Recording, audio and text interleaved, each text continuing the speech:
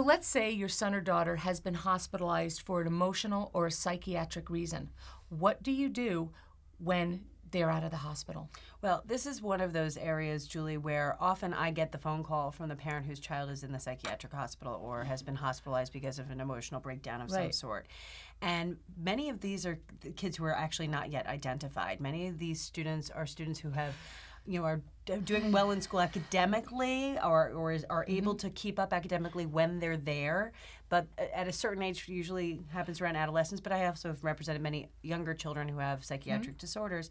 But basically you know what happens is it spirals and the kid ends up in a, in a facility a psychiatric facility and the parent is either at a loss because they don't think the child can go back to school Right. or to the school they used to go to or the hospital is saying your child cannot go back to school i would recommend some lesser level of care like a residential therapeutic school mm-hmm. and the parent doesn't even know where to begin. Right. and somebody along the lines has said i think you need to call this person because they've they've dealt with this system Right. before. And it's a really tough situation because in a circumstance like that if the child has not yet even been identified for services then the first step is going to have to be for the parent to let the school district know that the mm-hmm. child is in the psychiatric hospital. Now most good psychiatric facilities have a protocol in place for students who are who are you know student school age kids who are in their program where they have a form that they actually send to the school district. Because if it's a lengthy stay a few weeks they do provide tutoring many of these facilities. So they'll send a form to the school district which in my view would trigger the school district's obligation to maybe convene an individualized education program team meeting if the child's not yet eligible Right. to find out if they're eligible. So if the student doesn't yet have an iep the first step is should they. Right. if the student already has an IEP or even a 504 plan, which is a different kind of plan under a different statute, then the, the parent should be saying, okay, my child has an IEP or a 504 plan. You need to be aware that he or she is at X and Y Z hospital. We need to convene a meeting to discuss programming.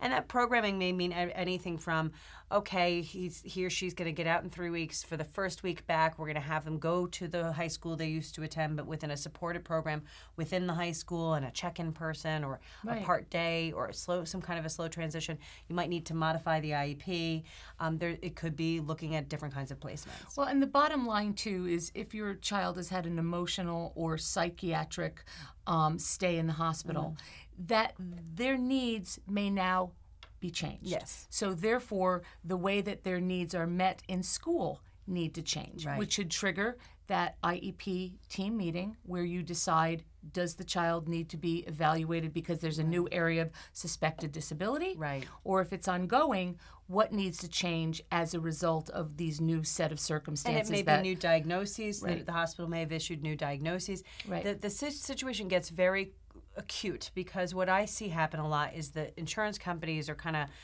pointing in the direction of the school district and saying this is not a medical issue this is an educational issue Right. and the school district's pointing in the direction Right. of the insurance company saying this is an, this is a, an educational issue not a medical issue not Yeah. an educational and everyone's doing this and the parent all they know is their child is sick they can't be discharged from this program or, or can't go to back to school and nobody wants to take responsibility Right. and so the question in that situation is does the child's uh, you know do, do the diagnoses and do, do the um, the constellation of issues rise to the level that this child should be identified as a student who has an emotional disturbance if the child which is a, a category under the federal special ed laws or if the child's already eligible under a different category is that the right category and even so even if it's the right category is this program that the child was in previously still the right program Right. It's a very complicated area. It is. Hopefully, one that's a little less complicated is if your child has been hospitalized for a, a medical reason Mm-hmm. or perhaps a physical reason. And so, what I mean by that is is they've broken their leg Right. or they had to have their appendix out, something along those could be lines. major surgery it could be anything right Right. And, and, and so, what about that, Jen? So, you know, I mean, I have many clients who are medically fragile who have IEPs. I have many clients who are not in any way medically fragile who also have IEPs and end up in the hospital for, uh, as you said, an appendicitis Right. something.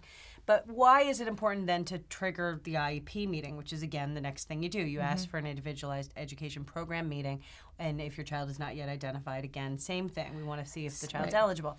The reason is that if your child has an IEP and now they've had a, a stay in the hospital, there may be additional accommodations that may, to, may need to be made when the child returns to school. So it could be anything from, you know, if a, a kid's in the hospital and has um, an IV antibiotic, as an example, Right. and now that IV antibiotic is actually going to go back to school with the Right. student and is on, you know, a pole, and there may be accommodations. The kid may need a key to the elevator. The kid, you know, I mean, there's lots of things Right. that now the plan might have to change. Right. Absolutely. So, what you need to know is if your child has been hospitalized, you want to let the school district know. You perhaps want to hold an IEP team meeting so everybody can be on the same page so that their new needs can be accommodated at school.